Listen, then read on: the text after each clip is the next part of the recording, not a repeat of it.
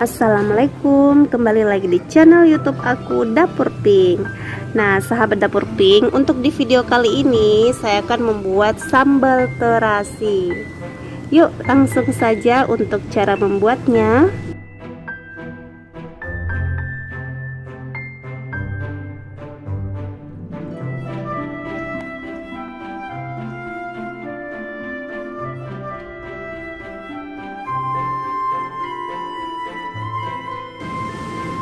Ini saya sudah siapkan tomat kemudian bawang putih bawang merah kemiri cabai dan terasi.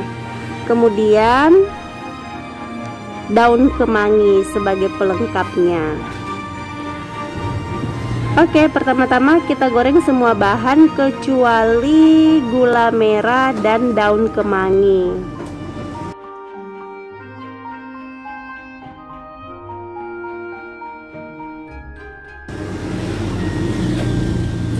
Nah,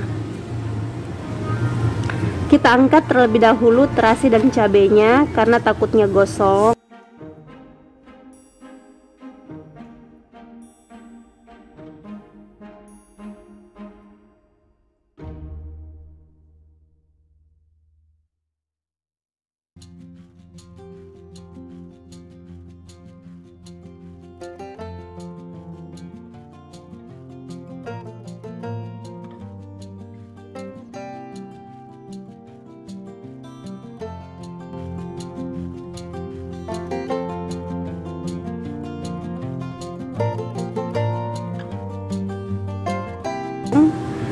Kemudian setelah semuanya diangkat kita ulek hingga halus.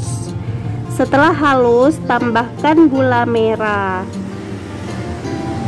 dan tomatnya. Ulek hingga semua tercampur rata. Tambahkan juga garam secukupnya.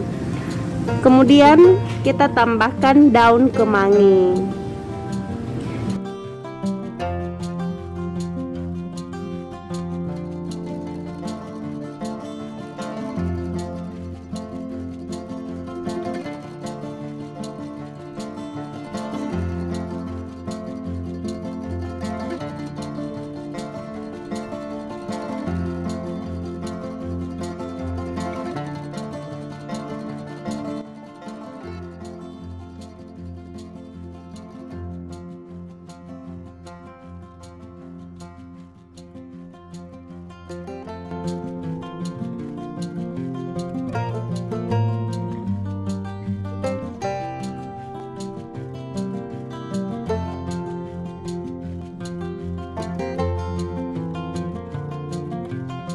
Nah, jadi gampang sekali untuk membuat sambal terasi ini.